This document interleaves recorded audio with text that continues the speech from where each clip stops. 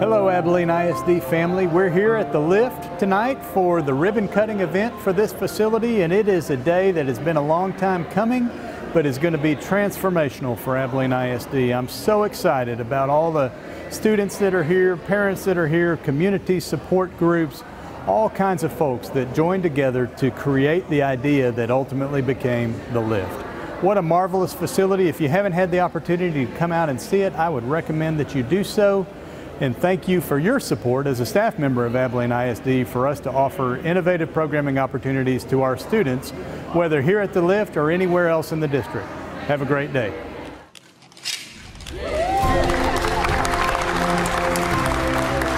To relive one of my favorite things that I've seen since we've opened up, which is that initial reaction from people the first time they walk into the building. And we got to see that on the first day of school for the students, and tonight the parents had the same reaction. So many people had a part in making the lift possible, and a lot of them were here tonight, honoring those people's efforts and, and the community of Abilene and support that uh, made this building possible. And it's also to uh, recognize the students and staff of ATEMS and the lift, the excitement that goes into such an amazing facility.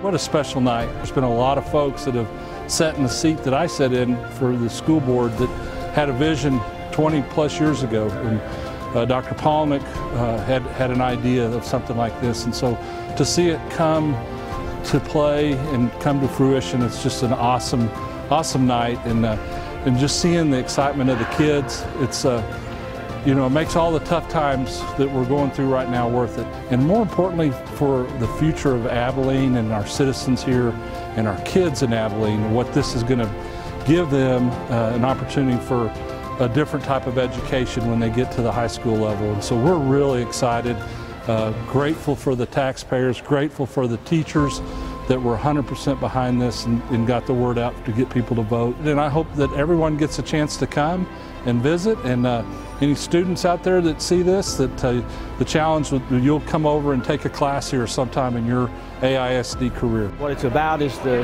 the kids and the administrators and the teachers and the synergy that's at this uh, facility. You know, it's about collaboration, communication, creative thinking, and problem solving. We have students from the ATEMS engineering class working with the welders, or the people in the video or the graphics design working with the automotive or the culinary to create menus or to create things that, that are needed for advertising, where they can have interaction with the community as well as learn by doing as opposed to learn by memorization. So really something special and we're really proud to be part of it.